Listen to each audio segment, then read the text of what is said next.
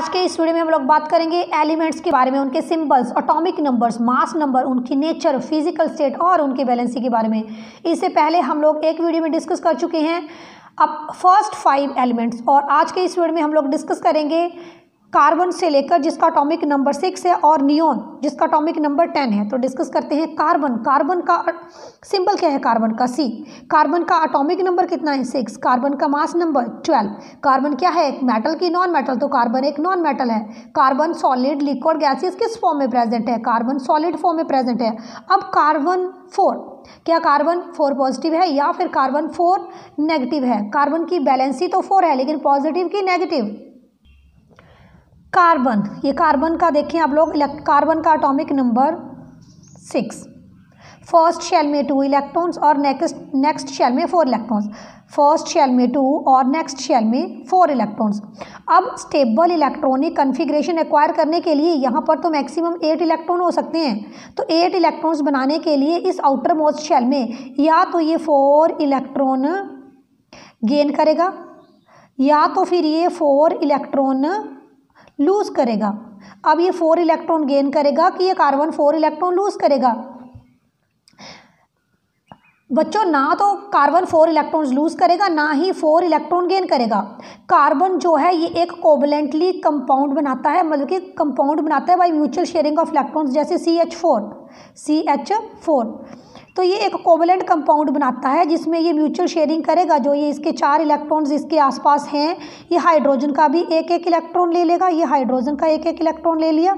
इसने और इस तरह से ये यहाँ पर बनाएगा covalent bonding mutual sharing of electrons तो कार्बन को हम ये नहीं कह सकते कि कार्बन फोर पॉजिटिव है या कार्बन फोर नेगेटिव है। It will form the covalent compounds and covalent compounds are formed by mutual sharing of electrons जैसे आयोनिक कंपाउंड्स होते हैं तो वो पॉजिटिव गेन और लूज ऑफ़ इलेक्ट्रॉन्स से बनते हैं। Next nitrogen symbol N atomic number seven mass number fourteen अब नाइट्रोजन मेटल की नॉन मेटल तो बेटा नाइट्रोजन एक नॉन मेटल है। नाइट्रोजन सॉलिड लिक्विड गैसेस किस फॉर्म में प्रेजेंट नाइट्रोजन जो है, वो गैसियस फॉर्म में प्रेजेंट नाइट्रोजन एटमॉस्फेयर में सबसे अधिक मात्रा में प्रेजेंट सेवेंटी एट परसेंट अब नाइट्रोजन की बैलेंसी कितनी है? थ्री और वो भी नाइट्रोजन इज़ थ्री नेगेटिव चलिए देखते हैं नाइट्रोजन थ्री नेगेटिव क्यों? नाइट्रोजन, देखिए it is nucleus atomic number seven first shell में टू इलेक्ट्रॉन्स और नेक्स्ट शेल में फाइव इलेक्ट्रॉन्स फ़र्स्ट शेल में टू और नेक्स्ट आउटर मोस्ट शेल में फाइव इलेक्ट्रॉन्स अब आउटर मोस्ट शेल में तो मैक्सिमम एट हो सकते हैं। तो इसके पास तीन इलेक्ट्रॉन्स के हैं एट बनाने के लिए कम है।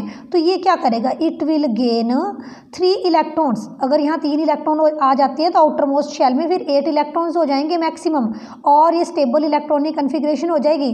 तो नाइट्रोजन की बैलेंसी कितनी? थ्री और नाइट्रोजन हम ऐसे लिखते हैं three negative nitrogen will gain three electrons to acquire the stable noble gas electronic configuration अब बात करते हैं oxygen symbol O atomic number eight mass number sixteen oxygen is a non metal oxygen is present in gaseous amount हमारे atmosphere में present जो gas हम inhale कर रहे हैं, इस वक्त सांस में ले रहे हैं, वो ऑक्सीजन है।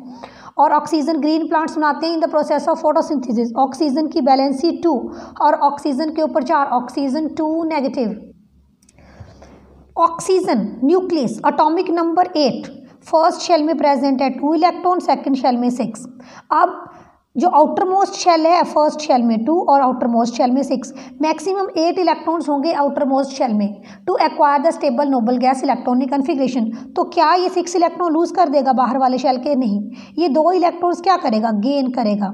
और ये बनाएगा ऑक्सीजन टू नेगेटिव जब गेन करेंगे तो एनाइंस बनाएँगे नेगेटिव वाले और जब लूज करेंगे तो पॉजिटिवली चार्जेड स्पीसीज बनाएँगे. तो इसने क्या किया? ऑक्सीजन ने यहाँ दो इलेक्ट्रॉन्स ले लिए, दो इलेक्ट्रॉन्स ले लिए और इसकी स्टेबल नोबल गैस कॉन्फ़िगरेशन हो गई अब यहाँ सिक्स की बजाय क्या हो गया? एट हो गया।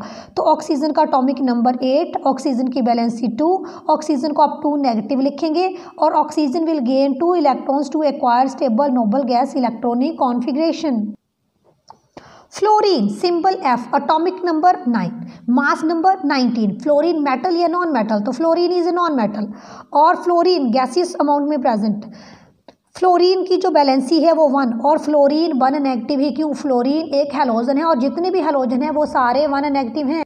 अब बात करते हैं फ्लोरीन की फ्लोरीन का atomic number nine first shell में टू इलेक्ट्रॉन्स दूसरे शेल में सेवन इलेक्ट्रॉन्स तो ये न्यूक्लियस फ़र्स्ट शेल में टू इलेक्ट्रॉन्स और सेकंड वाले शेल में यहाँ पर सेवन इलेक्ट्रॉन्स अब क्या ये सेवन इलेक्ट्रॉन्स लूज करेगा to acquire the stable noble gas electronic configuration second shell में तो मैक्सिमम एट इलेक्ट्रॉन हो सकते हैं.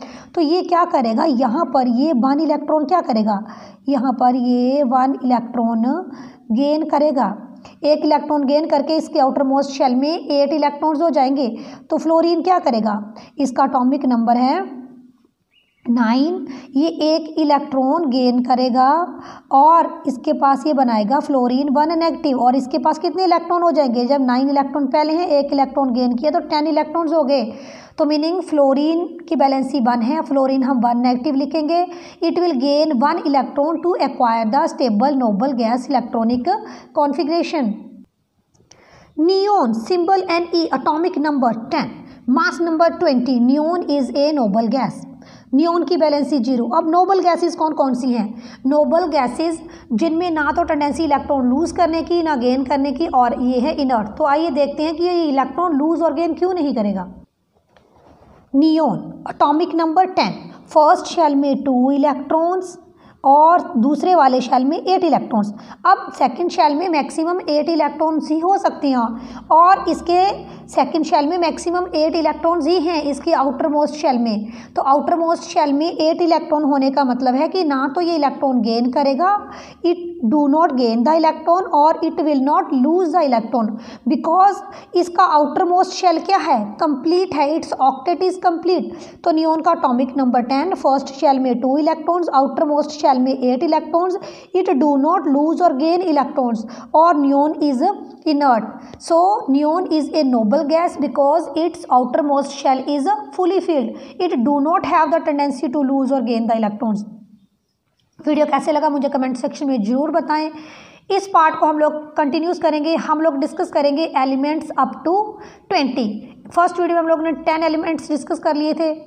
Thanks for watching